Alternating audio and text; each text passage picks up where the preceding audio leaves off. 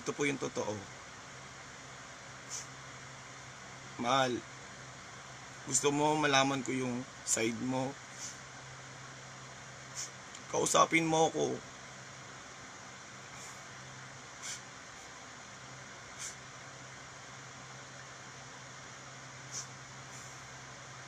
Mahal, walang kinalaman ng mundo.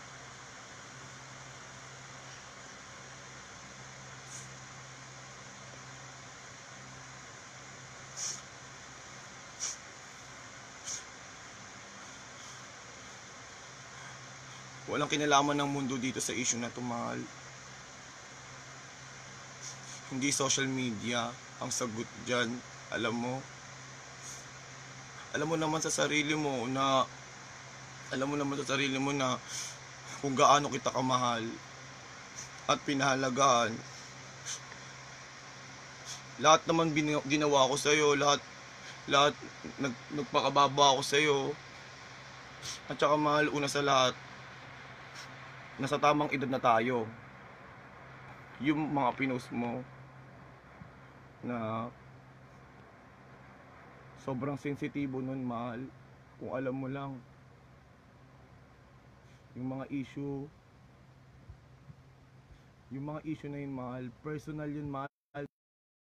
Personal issue natin dalawa yun. Hindi natin kailangan sabihin sa ibang tao po. Hindi natin kailangan na hindi natin kailangan na ipagkalat pa sa iba dahil tayo yun eh, magkarelasyon tayong dalawa.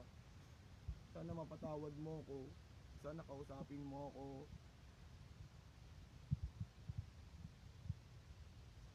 Inalakasan ko kasi yung loob ko kasi alam ko sa sarili ko, mahal. Hindi kita pinilit. Dahil magkarelasyon tayo, mahal. Yun yung totoo, mahal.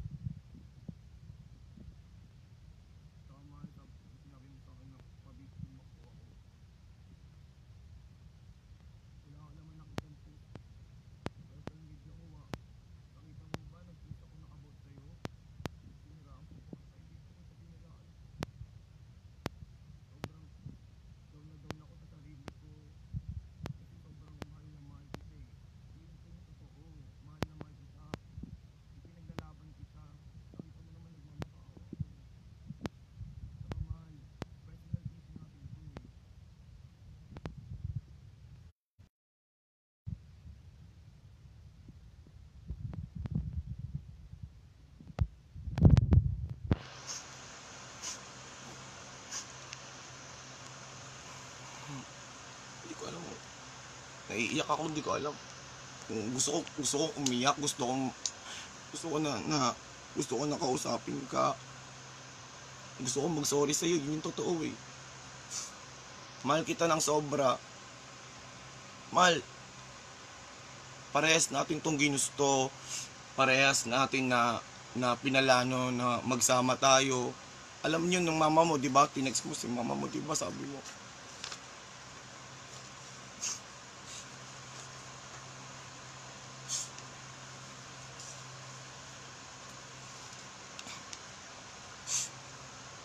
Ito mahal, oh. papakita ko sa iyo mahal yung screen record yan, nagmamakaawa ko sa iyo. You know, yung mga sinasabi mo sa akin dyan, grabe. Ayan yung mga mga chat ko sa iyo, mga text ko sa iyo, na nagmamakaawa ko sa iyo na halos binabaliwala mo ako.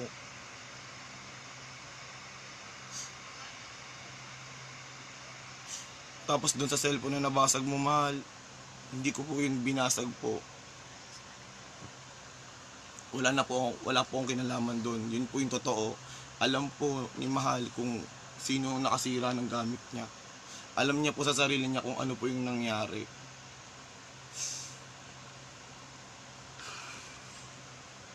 Nade-depress po ako sobra. At saka kasi sinabi mo na gusto ko lang yung yung gusto ko lang sa'yo, yung katawan. Hindi mahal eh.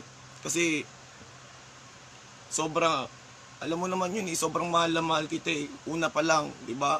Yung una tayong kita, mahal po. Nag-chat tayo, nag-chat ka sa akin, sabi mo magkita tayo. Nagkita tayong dalawa. Pangalawa po, nung birthday ko, pumunta ka po ng birthday ko, ikaw ang pumunta sa akin, sinurprise mo ako. Sobrang saya ko nun. Kahit tumakas ka nun sa, sa kanyo, para lang mapasaya mo lang ako. Ayun yung totoo po eh. Sobrang... At saka ito po, marami pong marami po talaga akong marami po akong problema. Yan, pati po yung ma- mga manager ko po sa Star Image. Nagkakaproblema po ako sa kanila. Tinutulungan po nila ako. Tapos ito po may lalabas na issue na dahil, dahil sa akin. Alam ko po mali po ako. Nagkamali din po ako. Kaso po, wala po yung tao po ako. Tao ka lang din. Nagmahal lang tayong dalawa. Nagmahalan tayo eh ito yun eh. Natural lang to sa magkarelasyon na magkakaroon ng away, hindi magkakaintindihan. At saka lagi mo sabihin sa'yo, mahal, sana ayusin natin to ng tayong dalawa lang. Kasi personal issue natin to. Kasi tayo to eh, di ba? Hindi natin kailangan pang sabihin sa mundo. Na, tayo to eh kung may gusto kang sabihin sa akin, sabihin mo sa akin, personal. Sabihin mo na nasaktan, mo, nasaktan kita. Kaya ko naman humingi ng tawad eh. Kasi tao lang ako. Diba? Tao ka lang din. Parehas tayo nagkakamali. Nag, nagkakamali ka, nagkakamali din ako.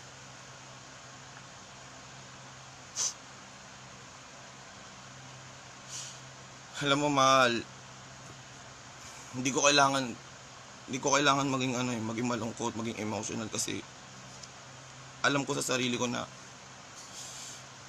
wala akong naging masamang intention sa iyo.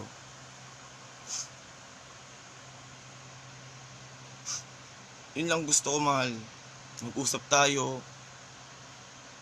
Bigyan natin ng kapatawaran ng bawat isa.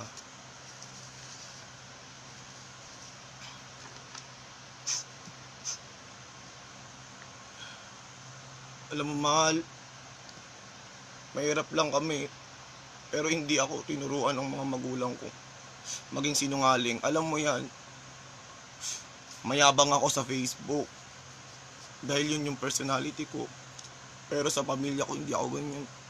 Tapos yung sinasabi mong binugbog. Kasi hindi ko kayang gawin yun kasi yung papa ko,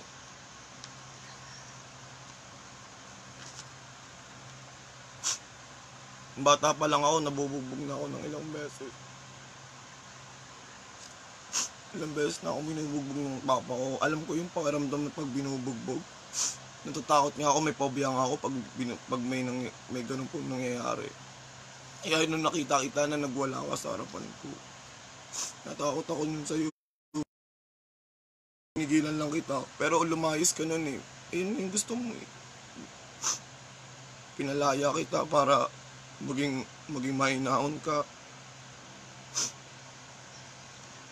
At saka yung sa mga sinasabi mo, may kapatid akong babae.